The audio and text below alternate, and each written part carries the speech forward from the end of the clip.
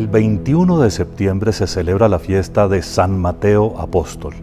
Como todas las fiestas de los doce apóstoles, las celebramos con especial solemnidad porque reconocemos todos que la iglesia es, como la quiso Cristo, una, santa, católica y apostólica. En la fiesta de San Mateo conviene recordar los datos que nos ofrece la misma revelación sobre el apóstol, pero también algunos detalles que la tradición nos recuerda.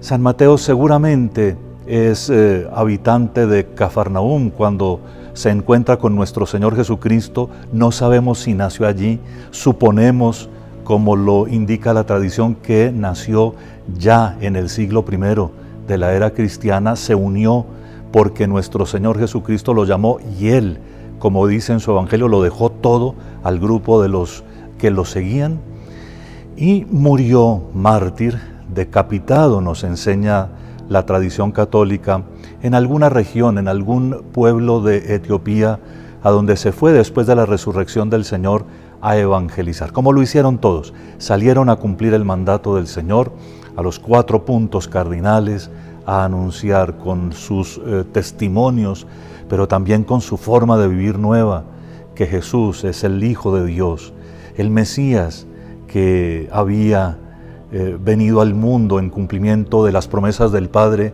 y aquel de quien la humanidad todo lo puede esperar.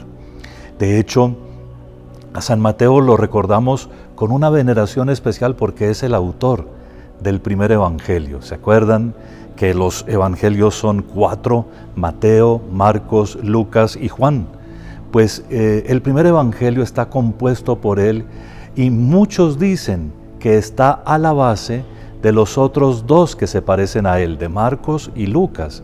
Es como si él hubiera hecho un borrador, una especie de actas de lo que nuestro Señor Jesucristo hizo y enseñó, y los otros hubieran conocido esos escritos para tomar de allí algunos fragmentos, organizarlos de acuerdo con sus memorias y ponerlos también en las obras ordenadas que conocemos hoy como los Evangelios de Mateo, Marcos y Lucas.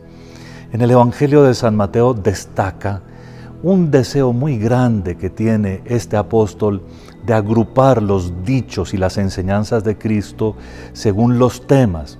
Y así conocemos ese Evangelio por cinco grandes discursos, cinco grandes discursos que son enseñanzas que el pueblo escucha con muchísimo gusto, que además nosotros hoy encontramos absolutamente enriquecedores.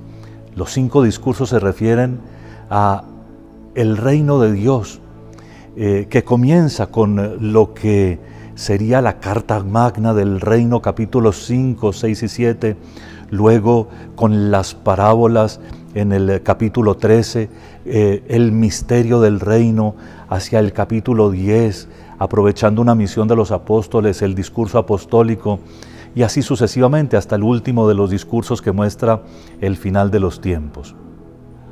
Esos cinco grandes discursos estructuran el Evangelio. Más o menos eh, quiere esto decir que cuando un buen lector trata de entender el Evangelio, ve que después del discurso siguen una serie de milagros, de hechos y de acciones, y si es atento, se da cuenta que en todo eso que ocurre, nuestro Señor Jesucristo muestra que lo que Él ha enseñado es perfectamente eficaz. Destaco además, dentro del primer gran discurso del eh, evangelista, el eh, asunto que corresponde a la manera de comportarse un cristiano.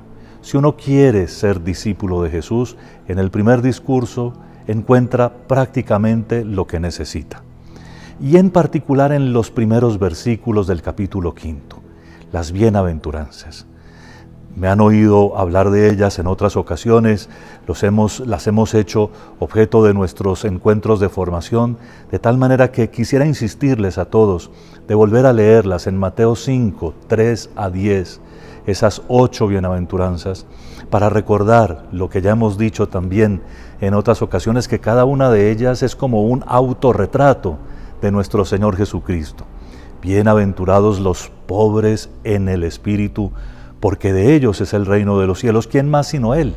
Es el pobre por excelencia, el que siendo Dios y teniéndolo todo en sus manos quiso despojarse de todos para mostrarnos que por amor a la humanidad Él podía inclusive renunciar a lo que más le podía pertenecer. Bienaventurados los que sufren o los que lloran, porque ellos serán consolados. Y es Él el que sufre de manera creativa por la salvación del mundo. Él es el que sufre por el pecado del mundo, por el suyo, por el mío, y que nos enseña a mostrar contrición. Bienaventurados los mansos, porque ellos heredarán la tierra, y Él es el que es dulce, manso y humilde de corazón. Es precisamente por su mansedumbre, por lo que Él es capaz de atraer a las multitudes, no por alborotos, no por cosas extrañas, es porque Él es capaz de acoger a todo el mundo con serenidad, con sencillez, con bondad. Bienaventurados los mansos, bienaventurados los que tienen hambre y sed de justicia, porque ellos serán saciados. Y la justicia para Cristo es que se cumpla la voluntad de Dios. En todos los ámbitos, por eso la justicia en la Biblia es sinónimo de santidad. Los justos son los que llamamos santos. Y claro que esto incluye también el afán picante, como el hambre y la sed por la justicia en este mundo, por vivir nosotros relaciones justas con los demás y por promover relaciones justas en nuestra sociedad. La quinta bienaventuranza es bienaventurados los misericordiosos, porque ellos alcanzarán misericordia. Y esta sí que muestra el rostro de Cristo de manera prácticamente visible. Él es el rostro de la bondad de Dios que se asoma sobre el mundo para que nosotros entendamos que Dios nos quiere, que nos está esperando y que todo lo que nosotros hacemos, Él lo puede comprender. Menos por supuesto que viéndolo a Él y viendo su bondad, nos alejemos voluntariamente. La sexta dice, bienaventurados los limpios de corazón, porque ellos verán a Dios. ¿Y cuál corazón podría compararse en limpieza con el de nuestro Señor Jesucristo? Todas las intenciones de Jesús son tan transparentes que las podemos incluso ver. En el corazón de Jesús solo hay dos amores y ambos son absolutos, un solo absoluto, el amor del Padre y el amor de la humanidad. Eso es lo que tiene un corazón puro por dentro. Y por eso también en esta bienaventuranza queda clausurado la, clausurada la discusión sobre el alcance del sexto mandamiento, sobre los actos impuros. Solo la torcedura de nuestro corazón hace que nos recreemos con lo que son placeres ilícitos. En fin, la séptima bienaventuranza dice, bienaventurados los que trabajan por la paz, porque ellos serán llamados hijos de Dios como Él, que es el Hijo de Dios, y vino a sembrar la paz, a poner la verdadera paz, que no es solo ausencia de guerras o silencio de las armas, que eso lo puede hacer uno simplemente gruñéndole a otro. En la paz de Jesús lo que resplandece es la bondad, el conjunto de todos los sentimientos y propósitos honestos, la dignidad y la decencia en todas las actitudes y la capacidad de no reproducir el mal de dejar que todo lo malo, todo lo violento, todo lo polémico, todo lo sucio termine en Él, aunque duela, pero no reproducirlo en el mundo. Eso es lo que hacen las venganzas, los odios, las divisiones, reproducir el mal que sentimos. La octava y última bienaventuranza de esta lista es bienaventurados los perseguidos por causa de la justicia, porque de ellos es el reino de los cielos. Es decir, bienaventurados, dichosos los que cumplen todo el resto del programa, los que por ser justos, por haber vivido todo el espíritu de las bienaventuranzas, son criticados, se burlan de ellos, en fin, viven situaciones complicadas. Pero Jesús entonces recuerda, renglón seguido, que los que vivieron así en la antigüedad también fueron perseguidos y que Dios está con nosotros.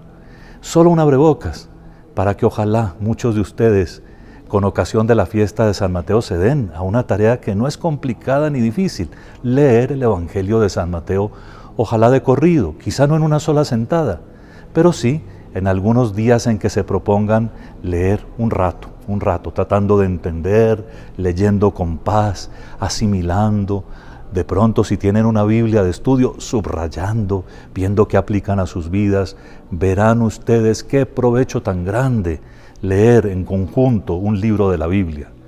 Estamos acostumbrados a leerlos fragmentados en la Santa Misa, pero tenemos mucho más provecho a veces cuando los leemos de corrido, con ánimo de conocer y comprender su mensaje.